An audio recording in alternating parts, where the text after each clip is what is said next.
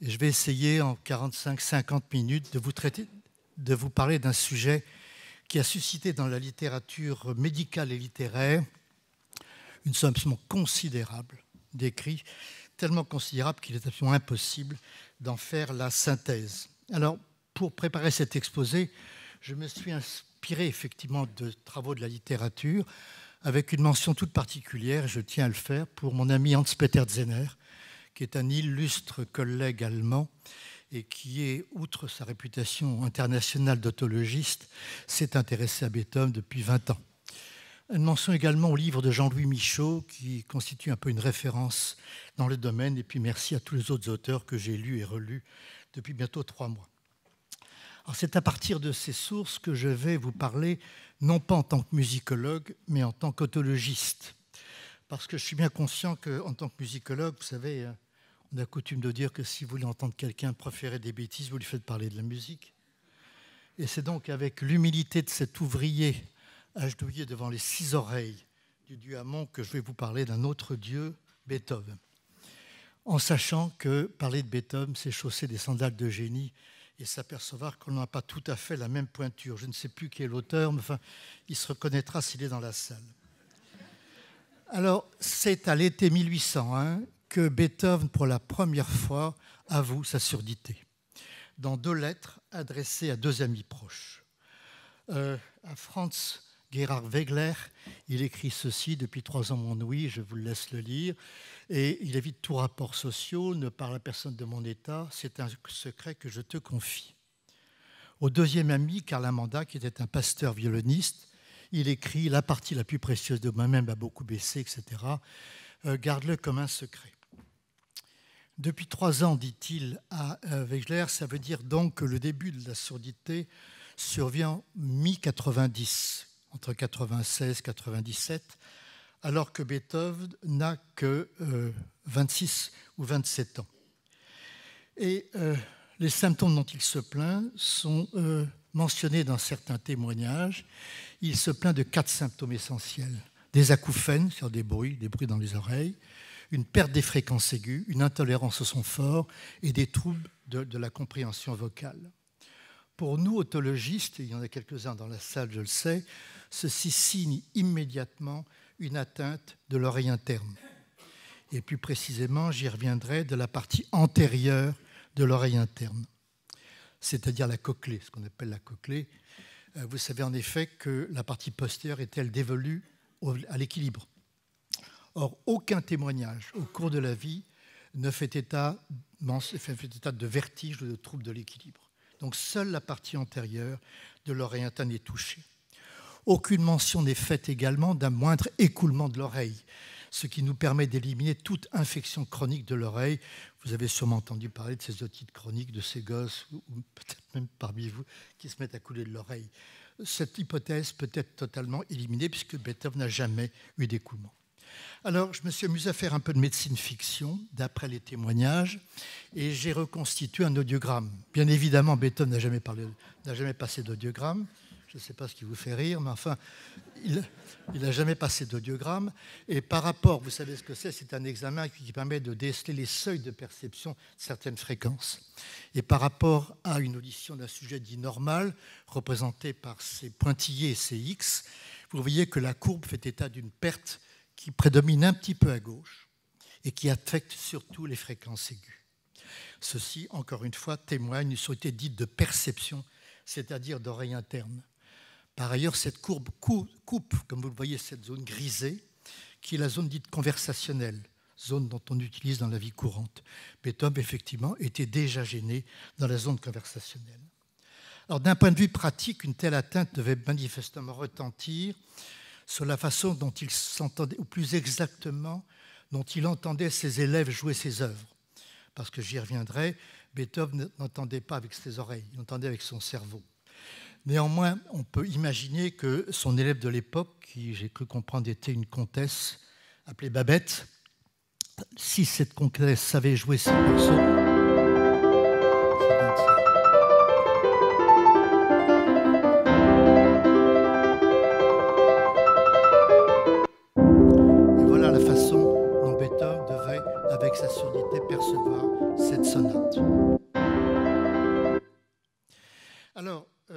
cette surdité s'installe et va s'aggraver inexorablement.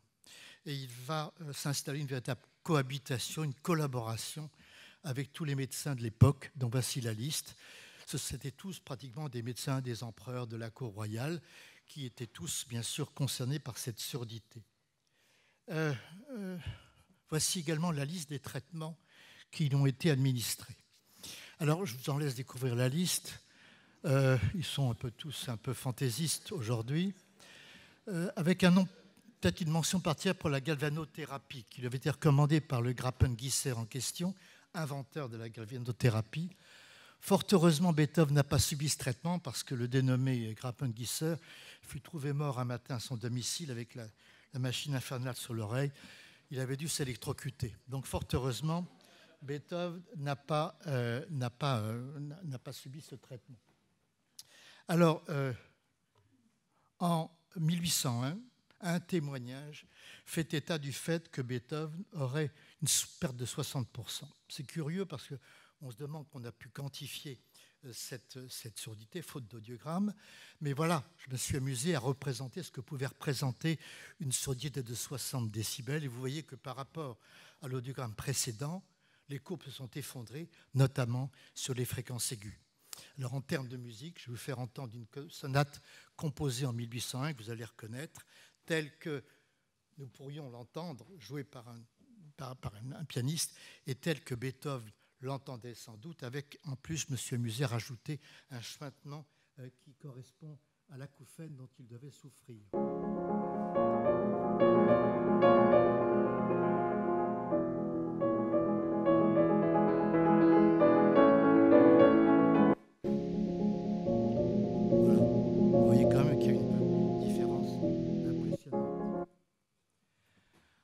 L'automne 82, vous savez sans doute que euh, Beethoven, enfin Beethoven part à Liegenstadt pour suivre une cure qui lui avait été recommandée par un médecin.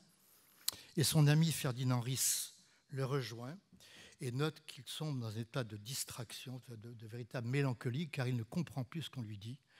Et l'anecdote veut qu'il n'ait pas entendu une flûte jouée par un berger à côté. Vous savez que c'est à cette époque qu'il écrit son testament. Euh, où il fait état de sa volonté de, se suicider, et ce testament ne sera découvert qu'après sa mort. Quoi qu'il en soit, pour en rester au strict domaine médical, les biographies qu'on peut consulter euh, font état des étapes de sa détérioration progressive. En 1809, Vienne est bombardée par les troupes françaises et Beethoven est obligé de se réfugier dans sa cave, dans le cas de son frère, pour échapper au bruit. Et ceci, pour nous, signe ce qu'on appelle un recrutement dans notre jargon, qui signe encore une fois une atteinte formelle de l'oreille interne. À cette époque, d'ailleurs, Beethoven note ou signale qu'il se met du coton dans les oreilles pour essayer d'atténuer le bruit de ses acouphènes, naturellement sans succès. Vers cette période, un peu plus tard, il dirige lui-même sa septième symphonie pour célébrer la victoire de Leipzig, qui euh, qui libérait l'Allemagne du joug français. Et à la fin de, l'interprétation, il signale qu'il n'entend plus en fait que les grosses caisses. Ce qui veut dire que vers 1813, il ne perçoit plus que les fréquences graves. Toutes les fréquences aiguës ont disparu. En 1814, Maël Zeil, qui a inventé le métronome, lui confectionne des cornets acoustiques pour qu'il essaie de comprendre ce qu'on lui dit. Un an plus tard, certaines anecdotes mentionnent l'utilisation d'une baguette de bois. Euh, baguette de bois qui tenait par un bout dans ses dents et il touchait le cadre du piano de l'autre et cela, semble-t-il, améliorait son audition. En réalité, les témoignages varient. Certains le situent en 1820 où il aurait fait l'acquisition d'une Gehörmaschine, qui en allemand veut dire une machine pour écouter, faite d'une trompette. Peu importe. Si je cite cette anecdote qui n'est pas vraiment avérée, c'est parce qu'elle a donné lieu à une hypothèse dite pathogénique, c'est-à-dire de cause, qui en fait, je vais aller voir, est sans doute fausse. Je ne résiste pas au plaisir de vous montrer la photo à droite d'un de mes malades, qui est pianiste, qui est, malentendant, et qui s'est confectionné lui-même cet appareil infernal, un dentier qui se met dans la dent et qui est relié par des fils au, cadre en bois. Il a tenu à me montrer cette photo qu'il avait prise plusieurs années auparavant. Alors, euh, en 1816, la surdité est complète. Il n'entend plus rien. Tous les témoignages concordent sur cette date. Comme vous le voyez, l'audiogramme ne montre que des perceptions faibles sur le 250, c'est sur des fréquences très graves. Je nous fais grâce de la sonate qu'il compose à cette époque, qui est la 28e. Euh, nous l'entendons, lui n'entend plus rien. Alors, pardon, en 1818, il fait, comme vous le savez, usage des cahiers de conversation qui lui permet de noter les questions de ses interlocuteurs, pas de ses réponses, uniquement des questions, ce qui effectivement nous prive de, savoir ce qu'il disait. En 22, euh, il semble faire appel à la lecture labiale pour essayer de mieux comprendre. Encore une fois, il lit sur les lèvres, c'est une espèce d'aide optique à l'audition. Et puis, en, euh, le 7 mai 24 intervient un événement historique que vous avez dû sûrement euh, connaître. Euh, il est assis au milieu de l'orchestre qui interprète pour la première fois sa neuvième symphonie. Et il ne s'aperçoit pas que la symphonie est terminée, à tel point que la cantatrice, Caroline Guerre, se lève, le prend par les épaules et le retourne vers la salle pour qu'il recueille les applaudissements. C'est donc dire qu'il était à cette époque extrêmement sourd. Alors, le, problème est que, euh, bien sûr, Beethoven n'était pas que sourd. Tout au long de sa, sa vie, il a souffert de très nombreux troubles que j'ai résumés sur la colonne de gauche. Il s'est beaucoup plaint. Il n'était pas, il n'était pas, euh, comment dire, euh, le nom m'échappe. Bref, il se plaignait de, nombreux troubles. Et à droite, vous avez la liste des maladies qui ont été attribuées. Deux seules semblent avérer la variole, vous avez sur le masque mortuaire des cicatrices cutanées qui attestent de cette maladie qu'il aurait contractée dans l'enfance. Et la maladie dont on est sûr euh, euh, qu'il présentait, c'était la cirrhose. J'y reviens dans un instant. Quoi qu'il en soit, si l'on en juge d'après les portraits qui ont été faits de lui entre 1812 et 1818, on voit quand même que son apparence euh, reflète une indiscutable altération de son, état de santé. Alors, la fin intervient, comme vous le savez, en euh, mars 27, précédé de quatre mois durant lesquels une acide se produit. L'acide, c'est une effusion dans l'abdomen et qui signe la maladie qui est une cirrhose. Et euh, c'est pratiquement la seule chose que l'on sache avec certitude, c'est qu'il a souffert et qu'il est mort d'une cirrhose vraisemblablement alcoolique. Alors, ce n'est pas pour incriminer son père, qui, comme vous le savez, était un alcoolique notoire, Enfin, tous les témoignages s'accordent pour dire que Beethoven avait un sérieux penchant sur le, sur le vin. On dit que depuis 15-20 ans avant sa mort, il allait jusqu'à boire 2 à 3 litres de vin par jour, ce qui suffit bien sûr malheureusement à euh, provoquer une cirrhose et il est mort donc dans un coma hépatique le 26 mars. Dès le lendemain a lieu l'autopsie. À cette époque, d'ailleurs, l'autopsie, c'était Beethoven lui-même qui l'avait demandé. Et donc, dès le lendemain, à son domicile, est pratiquée une autopsie faite par le docteur Wagner. Autopsie qu'il est difficile d'interpréter. Ce compte-rendu en allemand n'a été retrouvé qu'en 1970, près de 150 ans plus tard. Hein. Euh, et il est difficile d'en inférer euh, vraiment une pathologie, car les termes utilisés n'ont que de lointains rapports avec les termes que l'on utilise actuellement. Et surtout, euh, cette autopsie a été faite à l'œil nu sans microscope, ce qui quand même peut-être atténue un petit peu la fiabilité de tous les témoignages. Néanmoins, certains passages de ce compte-rendu autopsique sont intéressants pour ce qui nous concerne. Ils témoignent du fait que les osselets étaient mobiles. Je viendrai tout à l'heure sur l'intérêt de, cette observation, que les nerfs auditifs étaient démélinisés, c'est-à-dire qu'ils étaient atrophiques, et que les artères étaient peut-être légèrement épaissies. Quatrième euh, observation que je n'ai pas mentionnée ici, c'est que la voûte crânienne était, semble-t-il, un petit peu épaissie. En 1863 a lieu une première exhumation, puisqu'on voulait dresser un monument funéraire à sa gloire. On extrait le, corps de Beethoven et la catastrophe, le crâne explose en neuf pièces et son ami von Brüning euh, reconstitue le crâne, un moulage, et la petite idée, la petite anecdote, pardon, c'est que pour faire tenir les fragments, il bourre le crâne de, tissu pour favoriser l'adhésion des fragments. Et ceci a donné lieu, c'est un petit détail amusant, au fait que les pièces sont un petit peu disjointes, donnant l'impression qu'il avait une tête un peu hypertrophiée. Ceci a une importance pour la suite. Alors j'en arrive au chapitre des causes. Euh, en préambule, il faut souligner que dans l'histoire de l'autologie, mes collègues ici présents ne mentionneront pas, me, mentiront, ne me démentiront pas, il n'y a pas de cause. Il n'y a pas de cas de surdité qui est fait dans la littérature l'objet de plus de travaux ou de recherches. Mais en 2020, nous en sommes toujours réduits aux hypothèses. Pour une bonne raison, c'est que lors de l'autopsie, les rochers, ce qu'on appelle les rochers, c'est le fragment du crâne dans lequel sont situées les oreilles internes, les rochers ont disparu. Ils auraient été euh, envoyés au laboratoire au musée de pathologie, et là, plus personne ne sait où sont passés les rochers de Beethoven, ce qui, bien sûr, nous interdit les analyses euh, expérimentales, enfin les analyses dont on dispose maintenant, très fines, qui permettent notamment des analyses génétiques. Donc en 2020, nous en sommes encore réduits des hypothèses. Alors certaines peuvent être éliminées, je vais en parler, une ou deux méritent d'être discutées. Alors la cause souvent mise en avant, c'est le saturnisme. Alors pourquoi le saturnisme? Très schématiquement, l'après-midi de la mort, un de ses élèves, Ferdinand Hiller, vient se recueillir et comme l'autorisait la coutume de l'époque, il prélève une mèche de cheveux, la met dans ce médaillon. Ce médaillon, il l'offre à son fils pour ses 30 ans. Vous voyez, il y a le science de Paul Hiller qui était le fils de Ferdinand et qui atteste que ses cheveux sont donnés par son père, etc. Euh, on retrouve trace de ce médaillon après la guerre mondiale chez un médecin danois qui s'appelle Freming, qui l'aurait reçu en témoignage de remerciement pour ce qu'il avait fait pour les Juifs durant la Deuxième Guerre mondiale.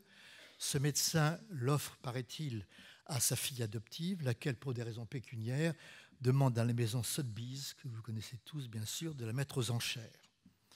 Cette histoire est racontée dans le livre de Jean-Louis Michaud. Et euh, cette, cette relique est vendue pour 3600 livres à des Américains qui pratiquent aux États-Unis une analyse toxicologique laquelle révèle deux choses importantes. Un, il n'y a pas de mercure dans les cheveux. Alors le mercure était le traitement utilisé à l'époque de Beethoven pour traiter la syphilis. Donc a priori, Beethoven n'aurait pas été traité pour une syphilis. En revanche, on constate un taux absolument anormal de plomb, d'où l'idée que Beethoven est mort intoxiqué par le plomb. Cette hypothèse, en réalité, ne tient pas, euh, semble-t-il, la route pour plusieurs raisons. La première, c'est que euh, du plomb qu'il y en avait partout à Vienne à cette époque. Il y avait des tuyaux dans les vaisselles, dans les poissons qu'on mangeait, et surtout dans le vin, parce que le plomb était utilisé comme adoucissant. Et Beethoven, comme je vous le disais, buvait, buvait beaucoup. Euh, cette hypothèse donc ne tient pas parce que tout le monde avait, et surtout le saturnisme, qui est une intoxication par le plomb, donne des troubles digestifs, donc pourrait à la limite expliquer les maux de tête, les coliques dont il n'a pas cessé de se plaindre, mais pas la surdité car le satanisme ne donne pas de surdité. Donc cette hypothèse peut être raisonnablement écartée. Deuxième hypothèse, je vous dis la syphilis. L'hypothèse repose sur des arguments très euh, contestables. Euh, deux, euh, un de ces médecins affirme qu'il aurait eu des relations multiples et passagères. C'est discutable, on peut parler entre nous de cela. Il avait un cœur d'artichaut, hein, il tombait amoureux de toutes les femmes qu'il rencontrait, mais on ne sait pas s'il a jamais le, consommer le légume. Hein. Et donc, euh, l'hypothèse d'une syphilis n'est pas discutée. Et surtout, dans un de ses livres, il aurait demandé à ce qu'on lui achète un livre traitant des maladies sexuelles. Voilà. C'est les deux seuls arguments en faveur d'une syphilis. Il y en a malheureusement d'autres qui sont contre. Un, il ne présentait aucun signe de neurosyphilis, faite de vertige et surtout de troubles cognitifs. Alors, Beethoven avait, comme vous le savez, des caractériels, mais n'avait jamais, le moindre trouble cognitif. Hein, c'est le moins qu'on puisse dire d'ailleurs. Bon. Et en fait, il n'y avait pas de mercure trouvé dans ses cheveux. Donc l'hypothèse d'une syphilis est peu probable. Autre maladie hein, qui a été souvent incriminée dans la littérature, la maladie de Paget. Vous envoyez les caractéristiques à gauche. Effectivement, dans cette surdité, il peut y avoir une surdité parce que le crâne est déformé et les rochers sont envahis, si je puis dire, par les foyers pagétiques qui donc retentissent sur la cochlée. Et surtout, comme à l'instar de ces deux patientes souffrant d'une maladie de Paget avec cette hypertrophie frontale, les arguments disent que Beethoven avait une grosse tête, euh, au sens propre, parce que au sens figuré c'est évident, mais au sens propre, il avait une grosse tête. Et surtout, comme je vous l'ai dit, le, crâne de Beethoven, ici photographié, était un petit peu élargi, mais je vous ai dit qu'il s'agissait vraisemblablement d'un artefact. Mais l'argument majeur qui permet d'éliminer cette hypothèse est qu'elle m'a dit de Paget une maladie des sujets âgés. Or, Beethoven a été très tôt, malheureusement, atteint de surdité, donc cette maladie peut être réfutée. Alors, s'il n'y avait pas de Paget, s'il n'y avait pas de, de, de quoi s'agit-il? Ben, Il y a une hypothèse qui mérite de discuter, c'est l'autospongiose, euh, qui traîne dans tous les bouquins. Alors, pour vous parler de cette maladie, je suis obligé de faire un petit rappel physiologique. Je les professeurs, mais peu, importe. Euh, alors, euh, qu'est-ce qu'un son? Comment est-ce que vous entendez? Eh bien, le son que j'expire par mes, poumons est mis en vibration par les cordes vocales et les molécules d'air vont exciter de proche en proche les molécules. Euh, autrement dit, il y a transport de matière, ben, transport sonore d'énergie, pardon, sans transport de matière. Un peu comme quand vous jetez une pierre dans un lac, vous avez des petites vaguelettes, mais il n'y a pas de transport d'eau. Il y a seulement un mouvement qui se propage. Et euh, ceci, au passage, vous donne une idée de la formidable capacité de l'audition. Entre mon larynx et la personne assise au fond, vous imaginez le nombre de milliards, de milliards de molécules d'air qui sont mis en branle. C'est inouï et notre appareil de l'audition est un, appareil absolument fabuleux. Ceci posé, euh, qu'est-ce qui se passe? Eh Quand une vibration sonore arrive, cette vibration, pardon, je vais passer, excusez-moi, cette vibration arrive à l'oreille.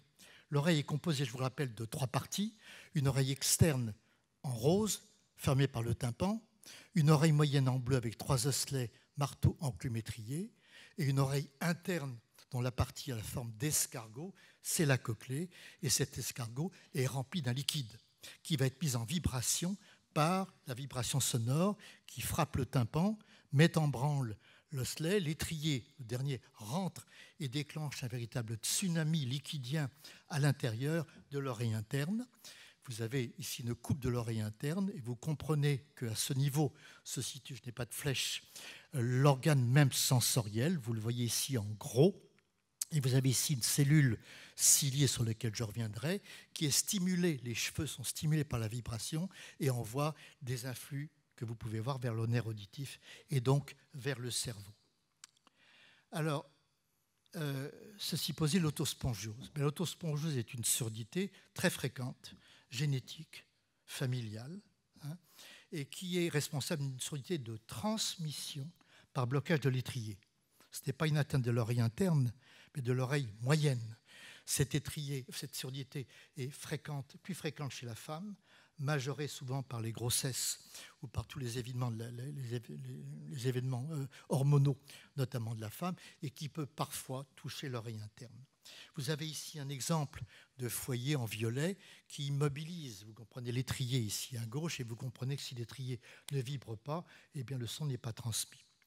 Alors il y a des arguments pour penser l'autospongiose. C'est que, comme je vous l'ai dit tout à l'heure, il se servait d'une baguette de bois témoignage qui est très controversé. Mais nous connaissons bien ça en tant qu'autologiste, car si vous faites ça avec une baguette, vous court-circuitez l'oreille moyenne. Et ce sont en fait les gens qui ont une solidité d'oreille moyenne qui utilisent ce, ce, moyen. Mais en réalité, cette idée est controversée et surtout, il y a une somme d'arguments pour penser que ce n'est pas le cas. Il n'y a aucun antécédent familial chez Beethoven. Sa mère est morte de tuberculose, son père sans doute également de cirrhose, mais les frères n'avaient pas de surdité. Autre certitude absolue, il n'est jamais tombé enceinte. Troisièmement, euh, tous les signes cliniques que je vous ai mentionnés sont en faveur d'une atteinte de l'oreille interne. Un étudiant de première année en otorhinolaryngologie vous répondra ça. Acouphène, intolérance au son, euh, perte des fréquences aiguës, ça signe l'atteinte de l'oreille interne. Et euh, les formes purement cochléaires sont absolument rarissimes. Le professeur Lejean et Beauvillain, je peut-être vu ici, mais c'est rarissime. Mais surtout, vous vous souvenez de l'autopsie? Qui montre que les osselets étaient mobiles, ce qui en principe élimine formellement et définitivement cette maladie. Alors s'il ne s'agit pas d'une pagette, pas d'une syphilis, pas d'une autospongiose, de quoi s'agit-il? Ben, Je vais vous répondre à la lumière, pas de mon expérience, elle n'a aucun intérêt, mais de celle de mes collègues que j'ai interrogés, notamment Hans-Peter Zener, que je remercie encore, qui est mon collègue, qui est sans doute le spécialiste de la surdité de Beethoven, et qui pense, effectivement, il y a des arguments, que la surdité de Beethoven était d'origine génétique. Alors je vais, pour vous le commenter, euh, venir faire un petit rappel. Je crois que j'ai encore un petit peu le temps. Vous avez ici une coupe de l'oreille interne. Avec vous, pouvez le voir à gauche, une cellule en jaune, qui est la cellule ciliée interne. Et en face, vous avez trois cellules en jaune, qui sont les cellules ciliées externes. Vous les voyez ici représentées en microscope, les petites cellules ciliées internes qui ont cette forme arrondie en bouteille de Chianti. Et à droite, vous avez une cellule ciliée externe allongée en cigare. Manifestement, elles ne se ressemblent absolument pas. Et la révolution qui est intervenue dans les années 80, pas en, 1700, en 1989, hein, ça a été de comprendre qu'en réalité, seule la cellule ciliée interne sert à entendre et que les deux, les trois cellules ciliées externes sont en fait des cellules musculaires qui se contractent à l'arrivée d'un son. Je vous ai dit que l'étrier vibrait dans l'oreille déclenchait un tsunami. Lorsque la vague liquidienne arrive dans l'oreille interne, elle va bien sûr soulever. voici la disposition pardon, des, des, cheveux de ces cellules, disposées en palissade en haut pour la cellule ciliée interne et en W pour les trois cellules ciliées externes situées en regard. Eh bien, le tsunami liquidien dont je parlais arrive et va entraîner, pardonnez-moi, un petit mouvement que vous allez voir ici. Voilà. Hein. Dès qu'une vague arrive, la cellule se contracte, comme ceci. Ça donne ceci au niveau, euh, au niveau cellulaire, pardonnez-moi. Voilà, elle se contracte comme ceci, dès qu'arrive un son. D'accord? Et je remercie mon ami Zener qui m'a donné cette diapo. Vous avez encore plus fabuleux une cellule ciliée externe qui, comme vous allez le voir, va se contracter, s'élonger, se contracter en réponse à une fréquence donnée. Je dis bien à une fréquence donnée, car chaque cellule ciliée externe est spécifique d'une fréquence. Or, dans l'oreille interne que nous avons, pardon, il faut comprendre que nous avons comme un clavier. Vous auriez à la base de l'escargot les cellules qui codent pour les sons aigus et, euh, je dis et au sommet de l'escargot, les, les touches de la main gauche qui codent pour les fréquences graves. il existe donc une tonotopie. Alors ce mot, vous êtes, vous êtes euh, étranger, ça veut simplement dire que nous avons un clavier et que dans notre cochlée, chaque partie de l'escargot code pour des fréquences.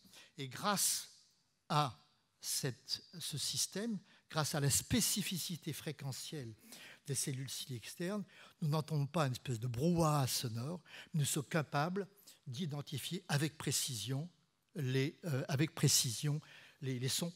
Si vous entendez un La, vous entendez un La et pas un Sol. Parce que seules les cellules spécialisées dans le La entendent.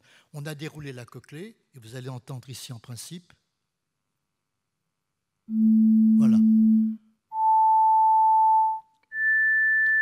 Ça donne c'est ce qu'on appelle la sélectivité fréquentielle. Et alors maintenant, bon, ça c'est pas Beethoven, je suis désolé, mais hein, vous avez tous reconnu. Bon, bref. Euh, et euh, ce que nous savons aujourd'hui, c'est que ces capacités contractiles euh, des cellules ciliées externes et les parois des cellules ciliées internes sont faites de protéines, ça on le sait. Et ces protéines, qui dit protéine dit gène. Chaque gène code pour une protéine.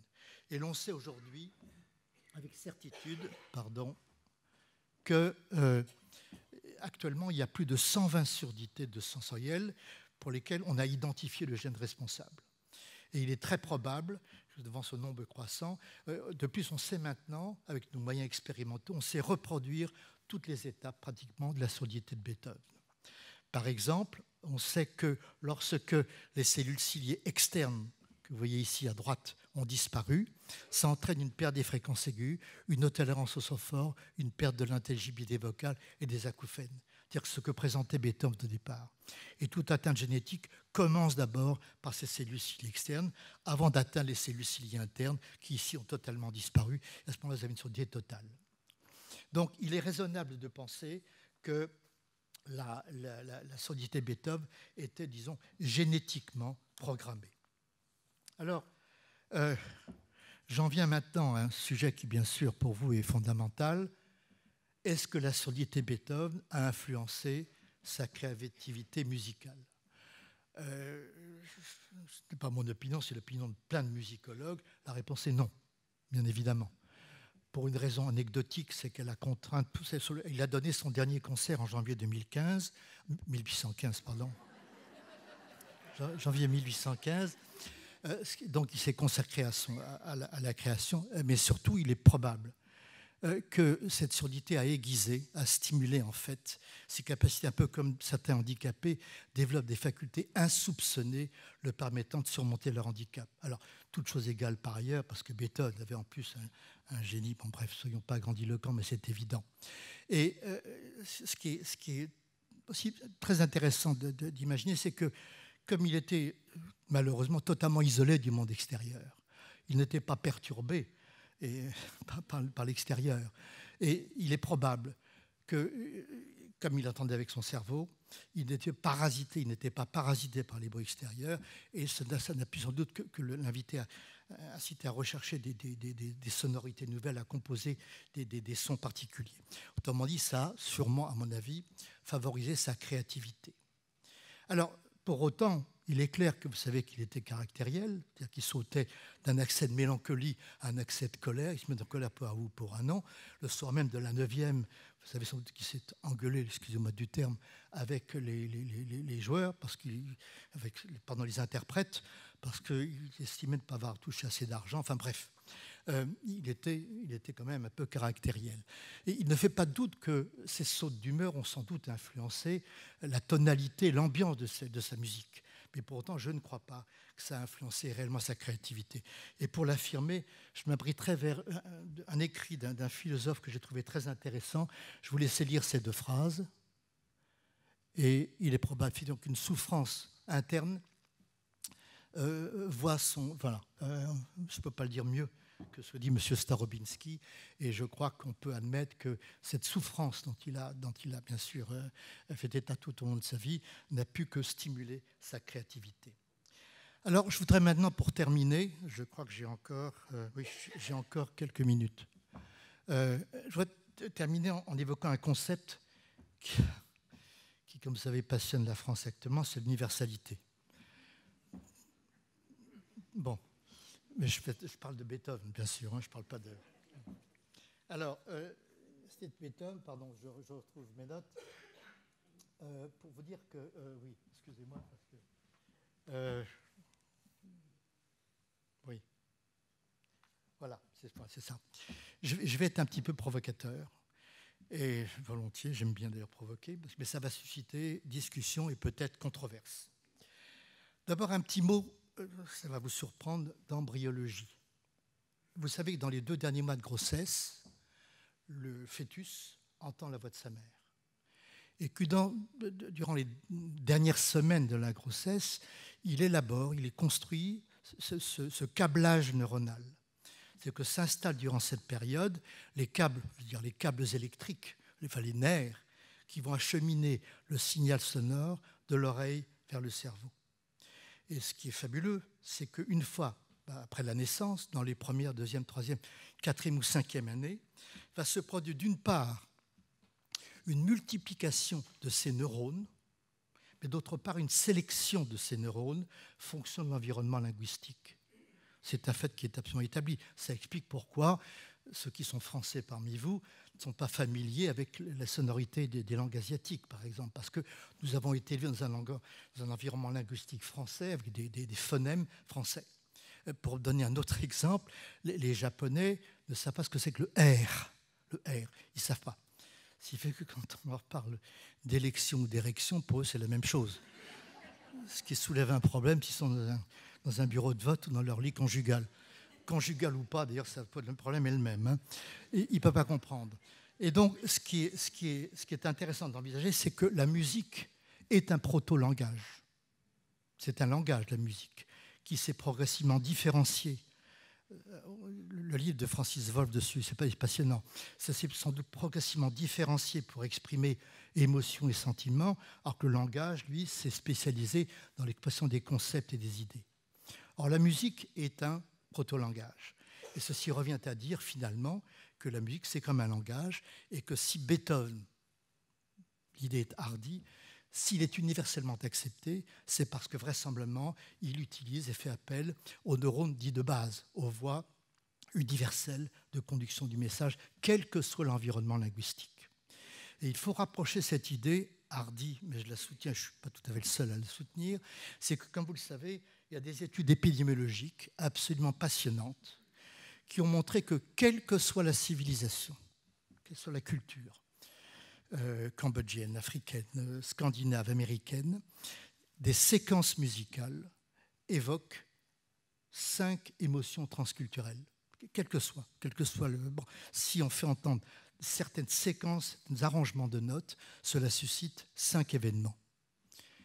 La joie, la tristesse, la colère, la peur, pardonnez-moi la faute d'orthographe, et le désir. Alors je pourrais vous montrer, bon, après tout on est dans un concert. Bon, voilà la joie. Hein. Vous connaissez. Bon, vous connaissez l'arietta de l'opus 111. Il était plutôt Guilleret quand il a composé ça, a priori. Hein. C'est la variation, la quatrième variation. Euh, au passage, Beethoven a inventé le jazz, hein, parce que vous écoutez ça, c'est du jazz. Donc, euh, la tristesse, bien sûr, elle est évidente. Euh, là, il était manifestement au fond du lit quand il a composé ça. C'est l'opus 10, la septième sonate. Là, j'ai envie de pleurer, hein, parce que... Bon, j'arrête parce que vous allez pleurer, donc.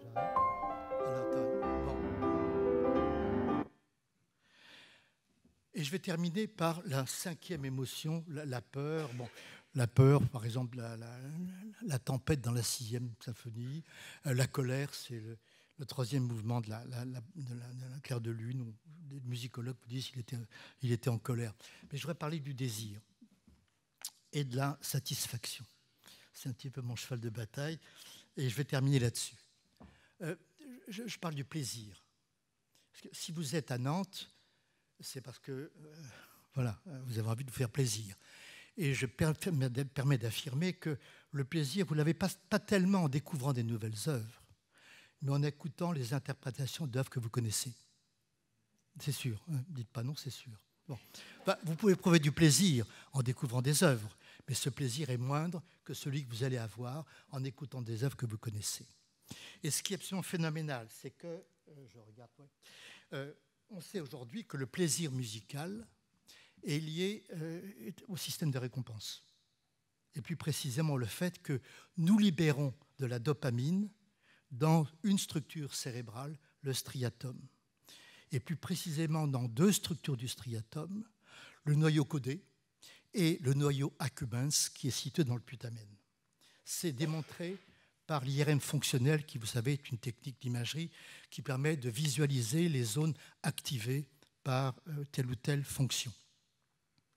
Or, pardonnez-moi quand vous faites une bonne bouffe, je suis désolé, mais tout le monde comprendra quand vous buvez un bon pinard ou quand vous atteignez l'orgasme dans la vie d'acte sexuel, vous sécrétez de la dopamine d'ici. C'est formel. Or, ces actes, manger, boire et, et se reproduire, c'est indispensable à l'espèce humaine. Or, la musique allume ces mêmes zones, ce qui suggère que la musique est consubstantielle à la vie. Vous êtes tous d'accord avec moi D'accord Ça implique effectivement que, voilà, c'est effectivement en bioethnologie, depuis que le monde existe, depuis qu'il y a des hommes pardon, qui existent, il y a toujours eu de la musique. Toujours. Hein. C'était pas aussi sophistiqué que, bien sûr, la, 32e sonate, mais enfin, c'était, voilà, il y avait du rythme, il y avait de la, mélodie, etc. Donc, c'est un peu osé de penser, mais que la musique est indispensable à l'oreille humaine. Alors, ce qui est euh, très intéressant, je reviens au fait que vous éprouvez surtout du plaisir à entendre une musique que vous connaissez bien. Pourquoi? Parce que le génie d'un compositeur, c'est bien sûr d'exposer une idée, de le développer et de la résoudre. Et vous savez tous, si vous êtes musicien, que s'il n'y a pas de retour à la tonique, pas possible. Notre cerveau exige le retour à la tonique. Alors je ne vais pas me lancer dans une critique de la musique atonale, on n'est pas là pour ça. Ce que je peux affirmer par contre, c'est que lorsque vous, avez vous savez qu'il va, y avoir la conclusion, on sait maintenant que pendant cette période où le désir monte, vous sécrétez de la dopamine dans le noyau codé, et quand l'acmé du plaisir arrive, hop, vous allumez le putamen et le noyau à cubins. Alors, je vais vous faire entendre un exemple typique. Vous allez tous secréter, vous je suis sûr que vous allez secréter. Hein.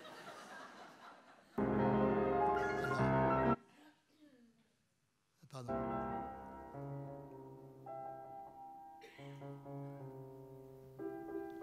vous secrétez dans, codes. Parce que vous savez ce qui va se passer.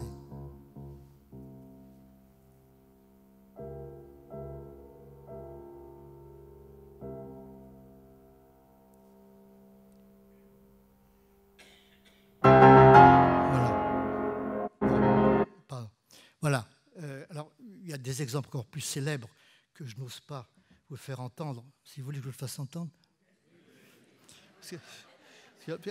L'exemple, l'exemple le plus, le plus, le plus, le plus connu et le plus irrésistible, c'est celui-là.